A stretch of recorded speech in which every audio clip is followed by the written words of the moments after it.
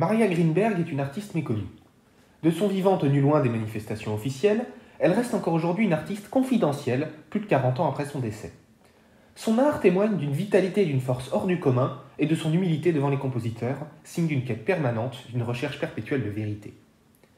La vie de Maria Greenberg fut marquée par de multiples tragédies. Née dans une famille juive à Odessa en 1908, son enfance se déroule dans la pauvreté, son père ne pouvant plus, depuis la Révolution, exercer son métier de professeur d'hébreu. Après avoir joué notamment avec David Oistrakh au conservatoire de sa ville natale, elle part vers Moscou et entre dans la classe de Félix Blumenfeld, après avoir fait en outre grande impression auprès d'un certain Erich Neuhaus.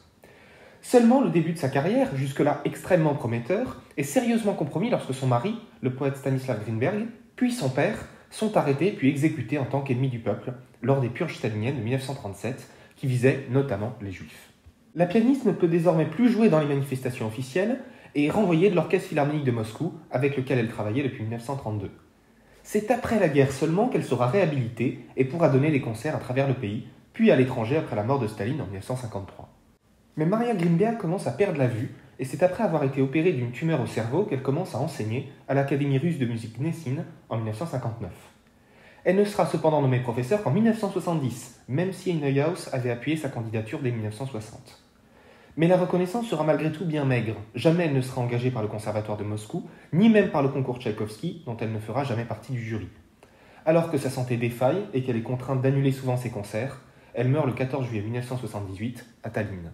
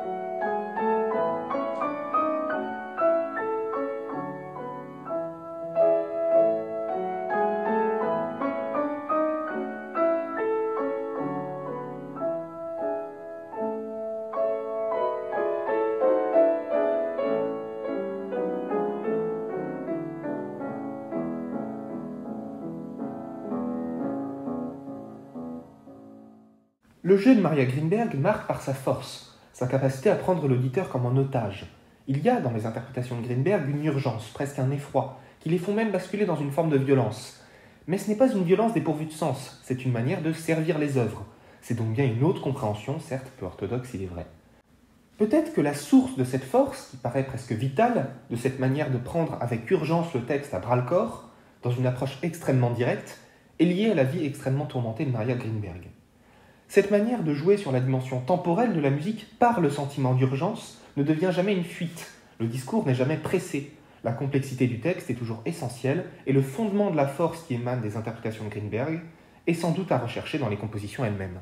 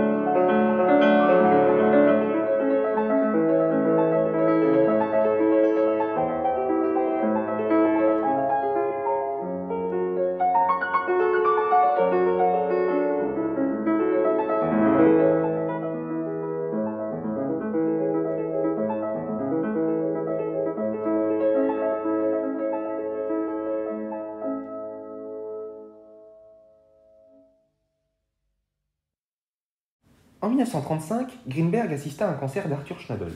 Ce fut un événement déclencheur, car c'est à cette occasion-là que commença la recherche d'une vie consacrée aux sonates de Beethoven. Après ma rencontre avec Schnabel, j'ai toujours été à la recherche de Beethoven, dit Maria Greenberg un jour. La vie de Maria Greenberg fut ainsi irrémédiablement liée à l'œuvre de Beethoven, dont elle enregistra l'intégrale des sonates pour piano. Ces disques, aujourd'hui disponibles chez Melodia, sont une incarnation même de tous les tourments auxquels dut faire face Beethoven, par une pianiste qui dut, elle aussi, affronter tous les tourments. C'est donc une intégrale d'une remarquable homogénéité qui rend compte des sonates dans leur complexité tout en leur insufflant une extraordinaire vitalité. Avec Greenberg, c'était toujours comme si l'instant musical était le dernier, comme si tout devant s'éteindre ou, plus encore, comme si la musique pouvait s'arrêter d'un moment à l'autre, ce qui fut en revanche le cas dans sa vie musicale d'ailleurs.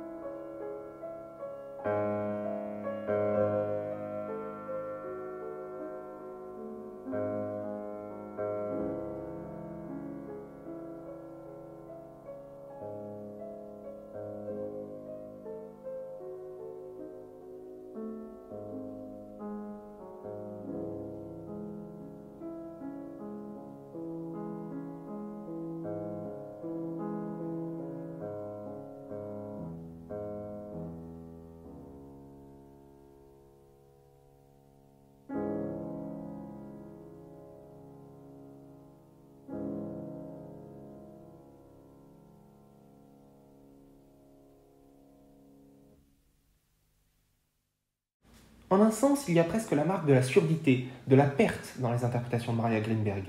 La vision est toujours au bord du précipice, et plus encore de l'abîme, car c'est bien un inconnu, une force imprévisible qui semble menacer. C'est autant un cri permanent qu'une manière d'exprimer la volonté dans toute son intensité. Il y a ainsi une gravité qui parcourt tout l'art de Maria Greenberg, qui donne autant d'importance aux notes qu'au silence, d'ailleurs. Lorsqu'on écoute Greenberg jouer la deuxième partie de Bach, même si la dimension tragique est partout, c'est le dialogue entre les voix et l'intelligibilité qui l'emporte. Il y a ici une manière d'exprimer la douleur tout en y retrouvant sans cesse la lumière et la beauté. L'harmonie est donc autant servie pour elle-même que pour l'expression du sentiment, et ce même si Bach se retrouve ici entièrement romantisé, ce qui permet, soit dit en passant, d'observer plus qu'ailleurs la filiation entre Bach et Chopin, le second s'étant ouvertement revendiqué du premier.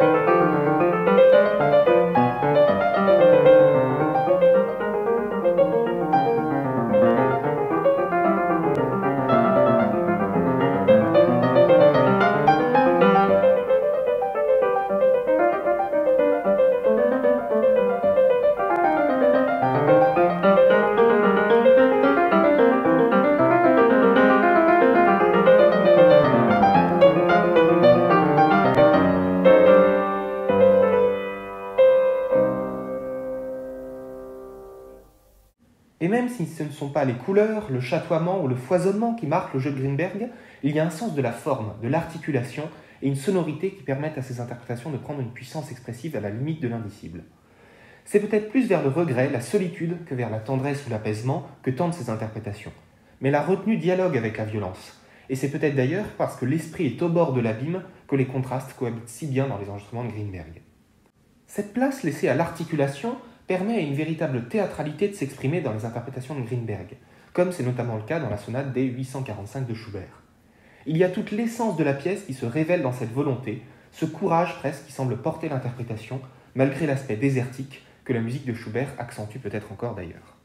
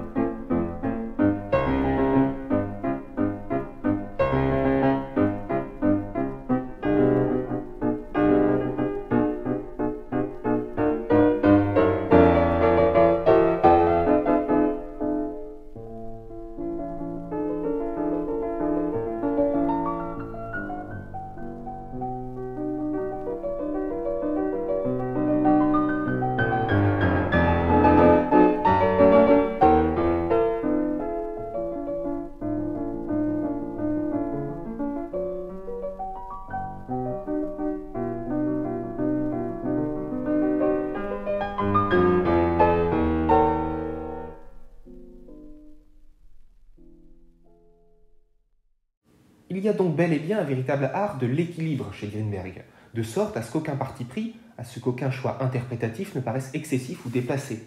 Tout est cohérent et surtout tout converge vers un esprit. Et ce jeu physique, dont la violence déchirante semble prendre en étau le cœur de l'auditeur, n'est pas dénué de spiritualité, tout au contraire.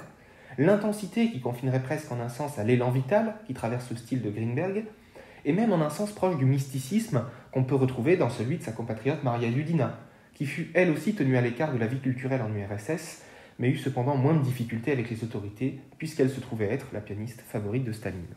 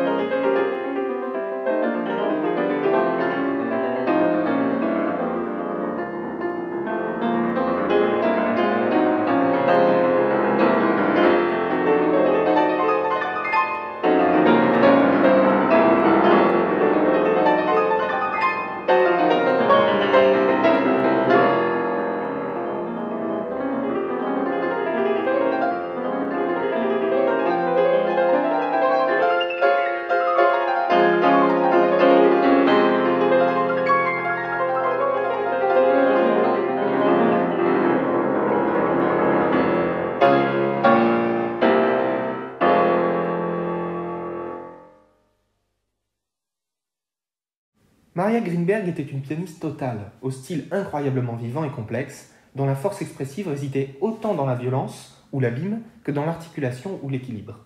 Au fond, c'était d'ailleurs cet équilibre qui lui permettait d'insuffler une telle intensité dans ses interprétations. Par chance, on peut aujourd'hui retrouver une grande quantité d'enregistrements de concerts sur YouTube et apprécier le jeune Greenberg dans un répertoire nettement plus vaste que ce que contient son legs discographique officiel, bien que parfois dans une qualité sonore assez sommaire. Je ne peux que vous recommander d'aller écouter en priorité son enregistrement de l'intégrale des sonates de Beethoven, une vision unique qui témoigne d'une recherche personnelle et même en un sens d'une identification. Ses interprétations de la musique romantique en général sont bouleversantes, tout comme son bac et bien évidemment la musique russe, dont Shostakovich et Prokofiev. Ma seule et unique source pour ce podcast a été Wikipédia, pour vous proposer la biographie de Maria Greenberg. Je vous remercie pour votre écoute et pour le soutien que vous m'apportez dans mes projets sur cette chaîne, et je vous dis à bientôt.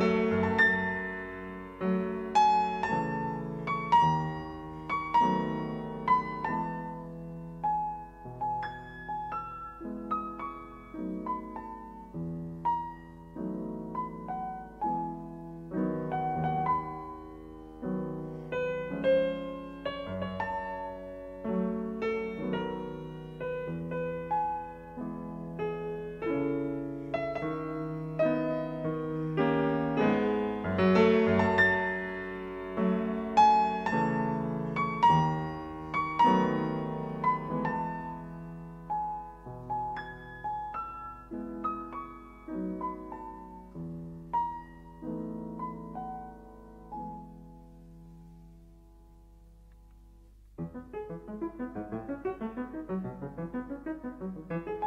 you.